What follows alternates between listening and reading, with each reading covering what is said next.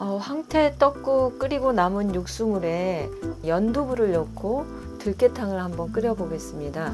여기에 들어가는 재료는 아주 간단합니다. 어, 이거는 선택사항인데요. 배추입니다. 배추 두 장을 제가 총총 썰어가지고 소금에 약간 절여 놓은 거거든요. 이게 없을 시에는 그냥 연두부만 넣으셔도 됩니다.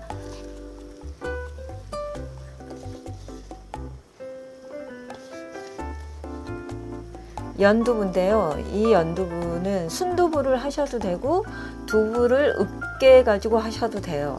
두부 종류는 다 괜찮습니다. 이거를 이렇게 한번 들어가서 같이 어, 죽처럼 같이 어우러져야 되기 때문에 이거 가지고 한번 눌러줄게요. 이렇게 끓어오르면 연두부 으깬 걸 같이 넣겠습니다.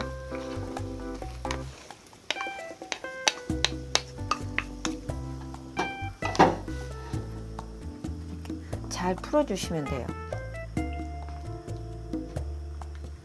이거는 연두부가 300g인데 순두부 긴 거 하나에 400g이더라고요. 400g을 다 넣으셔도 괜, 괜찮습니다. 들깨가루 어, 6스푼인데 수복이 6스푼입니다. 끓어오를 때까지 잘 풀어주시면 돼요.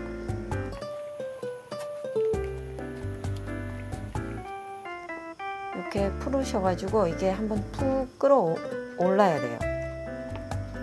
이렇게 보글보글 끓어오르면 어, 집에 있는 팽이버섯이나 느타리버섯 뭐 이런 거 대파 야채는 다 넣어 뭐 어떤 것도 상관없어요. 다 넣으셔도 돼요. 저는 팽이버섯을 준비했습니다.